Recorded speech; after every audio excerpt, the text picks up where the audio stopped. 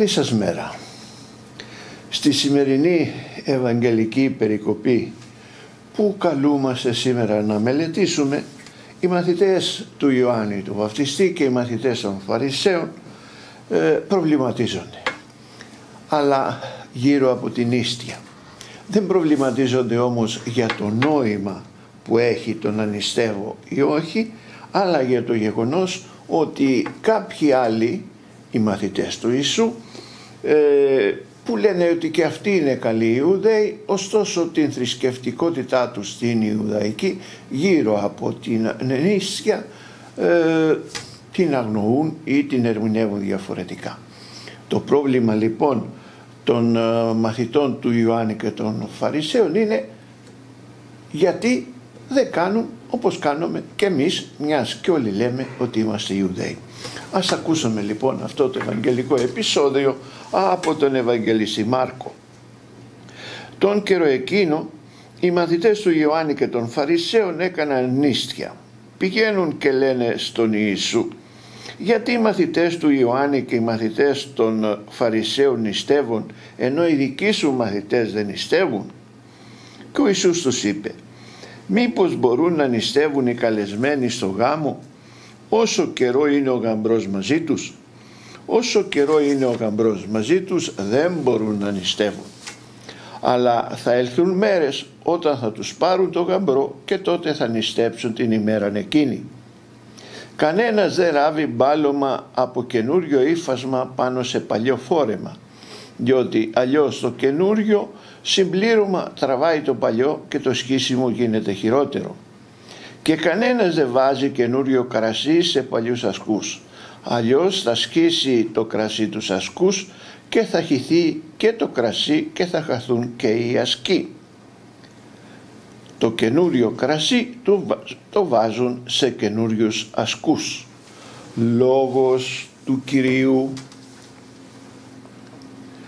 Ο πειρασμός λοιπόν της ομοιομορφίας κατατρέχει και καταπονεί ακόμα και μας σήμερα και αν μπορούμε να ανεχτούμε ότι ο καθένας μπορεί να σκέφτεται διαφορετικά ποιος είναι εκείνος που θα ελέξει το μυαλό του άλλου Ωστόσο πολλοί προσπαθούν να έχουμε ομοιόμορφη δράση, ομοιόμορφο τρόπο σκέψης. Και αν δεν πάει κάτι καλά στην κοινωνική ζωή ή στη θρησκευτική ζωή, εκείνοι που κατηγορούνται είναι αυτοί που διαφοροποιήθηκαν. Συμβαίνει σε όλες τις εκκλησίες ανεξάρτητα ομολογιακής τοποθέτησης αλλά ακόμα και στις μικρές χριστιανικές τοπικές κοινότητες. Μας φαίνεται δύσκολο να αποδεχθούμε την ποικιλομορφία, την διαφορετική ευαισθησία, τον άλλο τρόπο μέσω του οποίου κάποιος ή κάποιοι προσπαθούν να εκφραστούν και να εκφράσουν τη δικιά τους πορεία πίστεως. Αυτό που μας ενώνει όλους είναι η κοινή πίστη. Ο τρόπος όμως που θα εκφράσουμε αυτό που πιστεύουμε μπορεί να ακολουθήσει διαφορετικά μονοπάτια. Ο πειρασμός είναι ότι ορισμένοι ή ορισμένες ομάδες προσπαθούν να μονοπολίσουν τον τρόπο σκέψης και τον τρόπο έκφρασης της πίστης. Η Εκκλησία είναι μια βάρκα που κλειδονίζεται μέσα στον πολυτάραχο κόσμο ε, αποτελείται από φτωχούς και πλούσιους, φτωχούς στη νόηση, πλούσιους στη νόηση, στη νόηση διανοουμένους και απλοϊκούς. Αυτό όμως που δεν διαπραγματευόμαστε είναι η πίστη, η βάρκα. Εκεί είμαστε όλοι μέσα και προστατευόμαστε αν θέλετε. Η βάρκα είναι ολονών. Δεν είναι μονοπόλιο καθενός. Κανενός. Και υπάρχει χώρος για πολλούς μέσα σε αυτή τη βάρκα.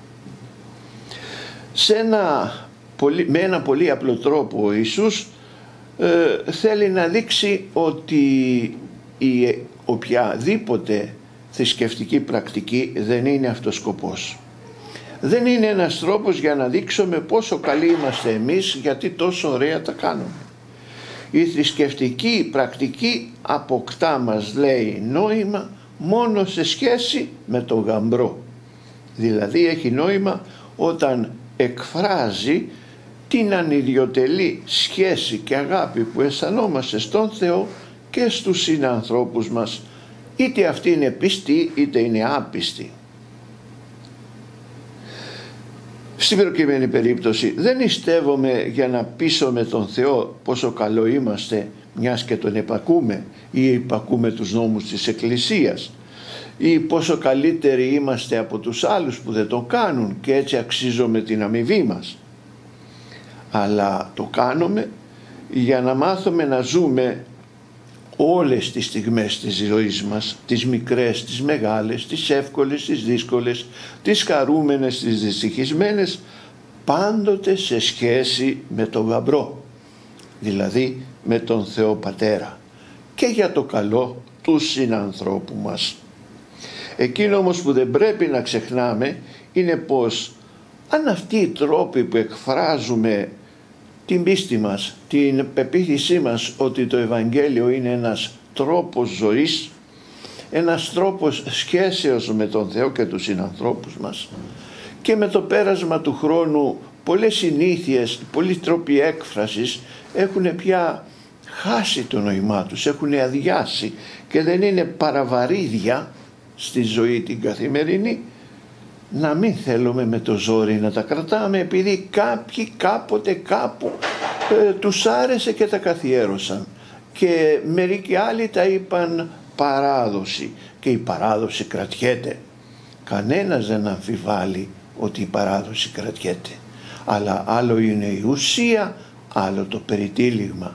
Κρατάμε την ουσία και την, το περιτύλιγμα, τον τρόπο έκφρασης τον βρίσκουμε στην καθημερινότητά μας, στον τρόπο που θα ζήσουμε την καθημερινή μας ζωή, εδώ και τώρα προετοιμαζόμενοι για ένα μέλλον και όχι εκεί και τότε όπως έκαναν κάποτε μερικοί και τώρα εμάς μας αρέσει και με κάποια νοσταλγία τα αναπολούμε. Πρέπει να αφήσουμε το Πνεύμα του Άγιο το οποίο όπου θέλει φυσάει όπως λέει ο Άγιος Γιάννης για να εμπνευστούμε και εμείς από τη δύναμή του και από την φρεσκάδα του να βρούμε τρόπο να ζήσουμε τη ζωή μας στην καθημερινή. Η χάρη του Κυρίου μας να είναι πάντοτε μαζί σας. Αμήν.